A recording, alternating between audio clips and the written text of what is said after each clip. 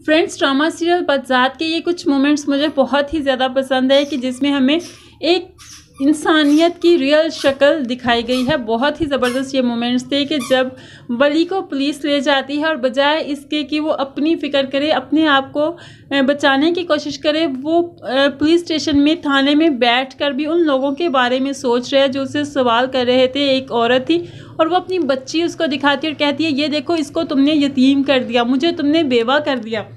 तो लोगों की चीहें पुकारें, अभी उसके दिमाग में चल रही हैं तो वो सिर्फ़ इसी कश्मकश में है, वो इस साइड पे उसका माइंड ही नहीं जा रहा कि वो खुद कितनी बड़ी मुश्किल में फंसा हुआ है।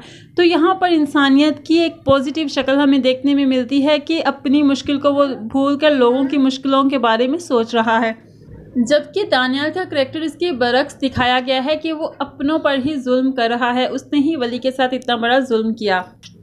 और अब तमाम लोगों को भी उकसा रहा है कि उससे जल्द से जल्द अपना सारा पैसा वसूल कर लें, इससे पहले कि वली भाग जाए। क्या दानियाल को ऐसी हरकतें करनी चाहिए कि वली का साथ देना चाहिए? आप मुझे कमेंट्स में ज़रूर बताइएगा। वीडियो अच्छी लगी और ये मोमेंट्स अच्छे लगे तो मेरे चैनल को नेक्स्ट मोमेंट्स देखने के लिए ज़रूर सब्सक्राइब कर लीजिएगा। अल्लाह हाफिज़।